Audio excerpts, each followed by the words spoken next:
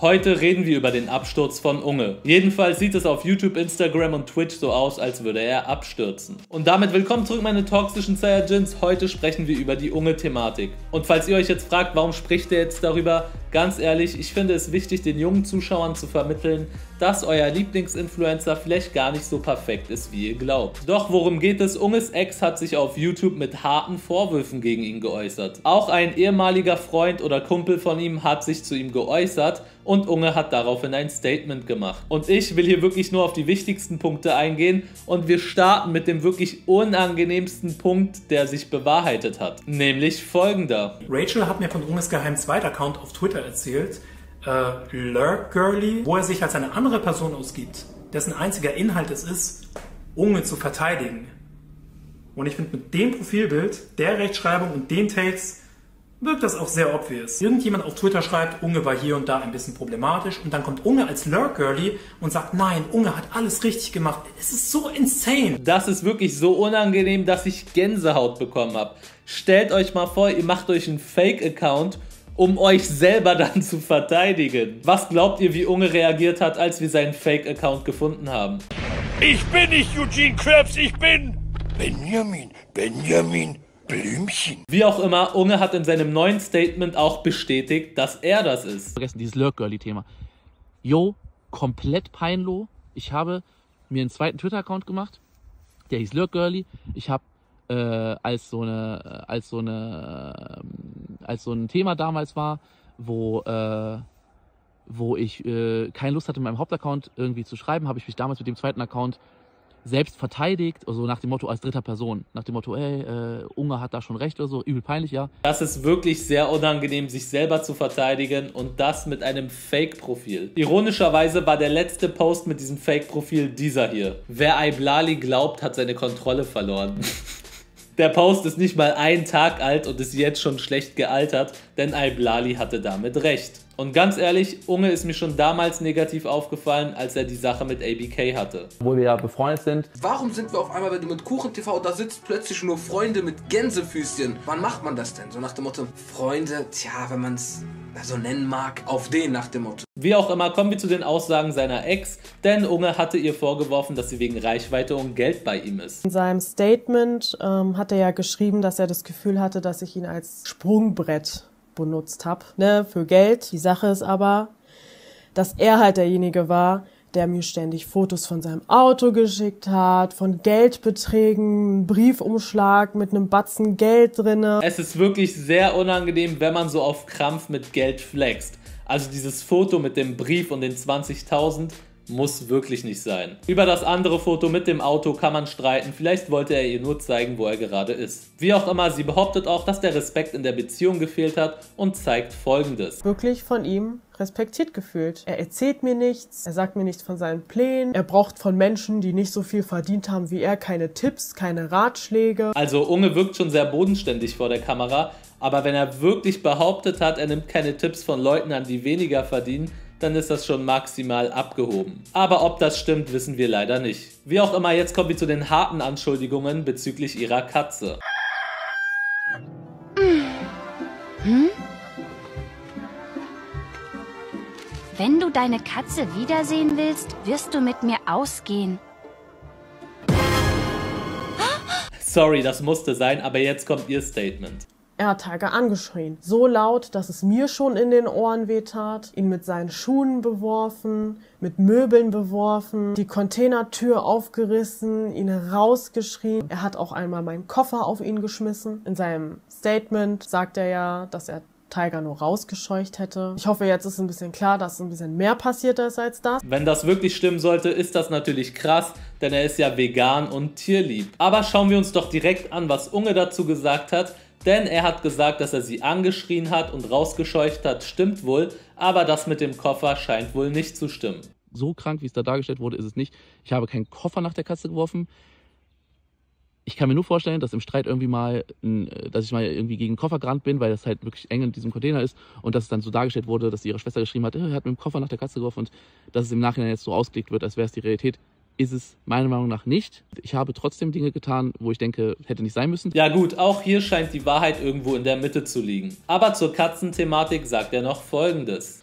Und ähm, mir wurde damals gesagt, ja, sie hat generell, also die Katze hat generell Angst vor Männern, weil ähm, damals hatte äh, Rachels Mutter einen Freund und der Freund kam besoffen nach Hause äh, und hat die Katze getreten und auch so, so mäßig weggetreten und war richtig aggressiv zur Katze so. Und die Katze hat halt äh, übelst Angst vor anderen Leuten auch. Rachel hat daraufhin geantwortet und folgendes auf Twitter gepostet. Er hat tatsächlich primär Angst vor Männern, aber nicht wegen dem Ex meiner Mom, der hat ihn auch nicht besoffen getreten. Also auch hier wieder Aussage gegen Aussage. Keine Ahnung, was hier stimmen soll. Dennoch behauptet die Ex, dass folgendes passiert sein soll und das sind schon wirklich heftige Vorwürfe. Ich wollte dazwischen gehen, weil ich wirklich dachte, gleich schlägt er ihn. Es reicht ja schon, dass er ihn mit Sachen beschmeißt und abwirft. Und dann hat er mich einfach auch auf den Boden, also geschubst. Und klar, er ist kräftig. Ich bin um einiges kleiner als er. Ich bin hingefallen. Und statt sich zu entschuldigen, sagt er so, hat er mich angeschrien und sagt, ja, steh sofort auf, steh sofort auf, mach das weg. Ich dachte, was ist das? Ich saß auf dem Boden, hab wirklich Heulkrämpfe gehabt. Wenn das stimmt, ist das natürlich maximal ekelhaft von Unge, denn Gewalt gegen Frauen geht gar nicht. Aber fairness halber hören wir uns an, was Unge dazu sagt. Ähm, es gab keine körperliche Gewalt. Vielleicht hat in ihrem Video gesagt, äh, dass sie da noch nicht drüber sprechen möchte und dass es auch vielleicht körperliche Gewalt gab. Es gab keine körperliche Gewalt. Und das möchte ich mir auch nicht eben so andichten lassen. Es gab keine körperliche Gewalt.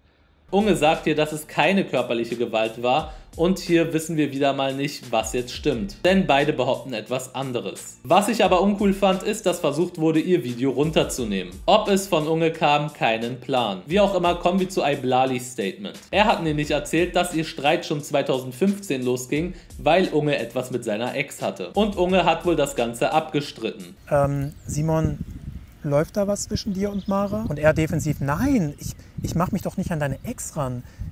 Sie ist sowas wie meine beste Freundin. Keine Sorge, Bro. Das war wohl gelogen, denn die Dame hat letztendlich zugegeben, dass da was läuft. Wir saßen da am Wasser, genau hier, und sie gestand mir endlich, dass zwischen ihr und Simon tatsächlich etwas lief. Unge hat also gegen den Bro-Kodex verstoßen und hat in seinem Statement auch zugegeben, dass da was lief. Äh, 2015 hatte Unge heimlich was mit Iblalis Ex-Freundin. Und äh, das stimmt. Äh, ich hatte was mit Iblalis Ex-Freundin. Ich kannte ihn ja. Wir waren nie Freunde, wir waren nie mega gute Homies oder so, wir waren Bekannte. Halt getroffen mit anderen in der Gruppe und auch mal alleine und so. Aber wir waren nie irgendwie dicke Freunde oder irgendwie sowas. Aber ich hatte was mit seiner Ex-Freundin, ja. Das stimmt.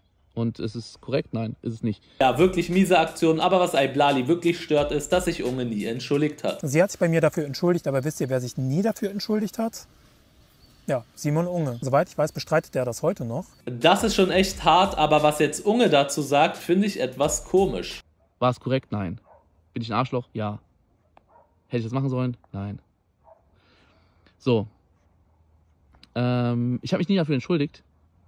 Äh, wird auch, also es wird gesagt äh, als ein Punkt, ich habe mich nie dafür entschuldigt. Ähm, und das stimmt, ich habe mich auch bei Victor nie dafür entschuldigt, weil ich weiß nicht, wofür ich mich hätte entschuldigen sollen, weil ich mit Victor eben nicht super close war. Also er weiß schon, dass es unkorrekt ist, aber versteht nicht, warum er sich entschuldigen soll, weil sie jetzt keine Best Friends waren. Also ganz ehrlich, selbst wenn es nur ein Kumpel war und du was mit seiner Ex hattest, kannst du dich doch einfach entschuldigen. Ich glaube, hier stand ihm sein Ego im Weg, aber das ist nur meine Vermutung. Wie auch immer, Jahre später wollte Vic nach Madeira ziehen und wollte Unge nach einem Tipp fragen. Ja, Hauptsache die Karriere in Deutschland aufbauen, aber die Steuern dann in Portugal zahlen. Wie auch immer, er hat also Unge angeschrieben. Und ich habe dann Simon so richtig nett angeschrieben, hey Simon, was geht?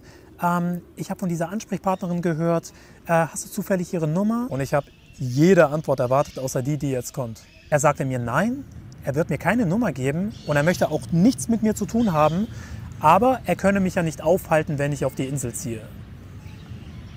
Holy shit, was geht denn jetzt ab? Ich war völlig schockiert und ich wusste erstmal gar nicht, was ich antworten soll, weil der letzte Stand war ja, dass zwischen uns alles in Ordnung ist. Kurz gesagt, er wollte ihm keinen Tipp geben und war auch irgendwo dagegen, dass er nach Madeira zieht, weil er keinen Bock auf ihn hat. Und als Vic es geschafft hat, nach Madeira zu ziehen, ist ihm was Komisches aufgefallen, denn andere Influencer waren auf einmal komisch zu ihm. Irgendwas stimmt hier nicht. YouTuber und Streamer auf Madeira, mit denen ich zuvor gut war, antworten mir auf einmal nicht mehr und einer hatte mich sogar blockiert, obwohl ich ihm nie was getan habe. Dann erzählte mir jemand im Vertrauen, dass Simon zuvor versucht hat, alle Influencer dort dazu zu bringen, dass sie sich von mir fernhalten. Und ihr dürft das nicht verwechseln. Simon hat nicht einfach nur ein bisschen doof über mich geredet, äh, weil er mich nicht mochte, sondern es ging schon sehr in Richtung Hetzkampagne, in der alle möglichen Leute involviert wurden. Das sind wirklich harte Vorwürfe und er hat sogar ein, zwei Beweise eingeblendet, die zeigen, dass Unge wohl mit anderen über ihn schlecht geredet hat. Ich habe mir Unges Statement von Anfang bis Ende gegeben und muss sagen, ich finde es schade, dass da keine aufrichtige Entschuldigung drin war. Aber anscheinend hat er das auch gemerkt und auf Twitter folgendes gepostet. Auch wenn ich nicht mit allem, was du so gesagt hast, ähm, einverstanden bin so und das alles so unterschreibe, sehe ich trotzdem einen Großteil der Fehler bei mir, weil ich einfach wirklich ein missgünstiger, gehässiger Mensch war und einfach viel Negativität auch in vieles reininterpretiert habe.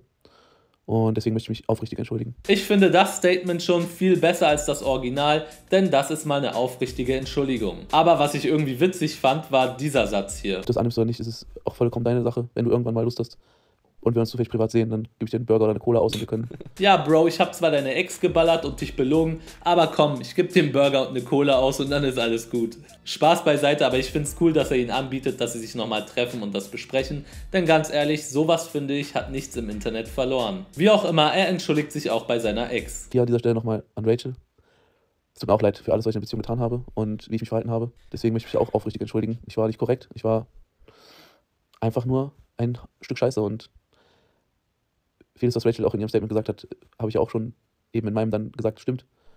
Rachel ist ein liebevoller Mensch, auch wenn da nicht immer alles zu 100% die Wahrheit war, was da jetzt in den letzten Tagen gedroppt ist, aber das ist klar, jeder hat auch eine andere Wahrnehmung. Wie auch immer, das Statement fand ich schon besser als das YouTube-Statement und er sagt sogar, dass er an sich arbeiten wird. Keine Ahnung, krankes Ego hatte und auch immer noch habe und jetzt an mir arbeiten werde und mir deswegen auch die Zeit nehme und es tut mir einfach leid. Ja, Freunde, was kann ich zum Abschluss sagen? Nur weil ein Influencer vor der Kamera nett ist und immer lächelt, heißt es nicht, dass er hinter der Kamera genauso korrekt ist. Ich glaube, es gibt so einige schwarze Schafe unter den Influencern und ich bin gespannt, was noch alles rauskommen wird. Wie auch immer, ich und Lurk Girly würden uns über ein Like freuen. Schreibt mal in die Kommentare, was ihr dazu denkt und ganz wichtig, abonniert den Kanal. Danke fürs Zuschauen.